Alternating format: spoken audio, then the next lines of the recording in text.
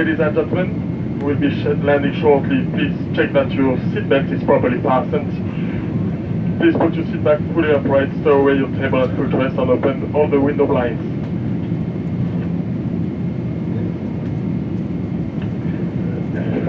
E-cigarettes are not permitted and smoking is prohibited. We recommend that you read the safety card in front of you and remember that in the event of evacuation you must leave all your baggage behind.